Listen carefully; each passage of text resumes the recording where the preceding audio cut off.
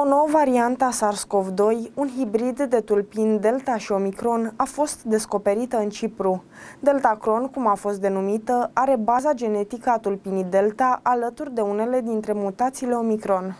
Noua variantă a fost identificată în 25 de probe prelevate în Cipru, dintre care 11 proveneau de la persoane internate cu noul coronavirus și 14 de la populația generală. Frecvența mutațiilor a fost mult mai mare în rândul celor aflați în spital, ceea ce ar putea însemna că există o corelație între deltacron și spitalizări, spun oficialii ciprioți. Deltacron, ce părere aveți? O combinație între varianta Delta și Omicron. Tot aia e.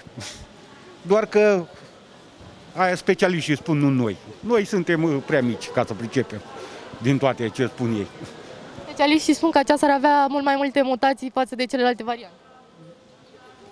Când să face una, să face și vaccinul și pentru alea. Deci tot aia o să fie. Nimic deosebit. Nu. Mie nu mi-e teamă. O dată mor, nu mor de două ori. M-am vaccinat, dar am greșit.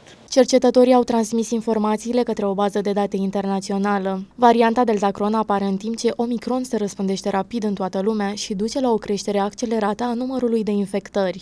În Statele Unite ale Americii, Omicron a împins spitalizările COVID către un nou record. Acum sunt mai mulți oameni tratați în unitățile medicale decât în ianuarie anul trecut, când erau înregistrate peste 132.000 de internări. Nu știu dacă e adevărat sau nu e adevărat. Nu știm. Dar vă este teamă în același timp? Sigur că mi-e teamă, că nu. Dacă e pe toată omenirea, pe tot globul, poate să fie ceva. Asta e. Părere proastă, ce să... Vă este teamă? Nu mi-e teamă, că n-am de ce. Nu mi-e teamă, da? Suntem obligați să purtăm măști. Asta e. Statele Unite au anunțat peste un milion de cazuri în doar 24 de ore de la începutul săptămânii, iar de atunci în fiecare zi au fost peste 800.000 de persoane confirmate cu COVID-19.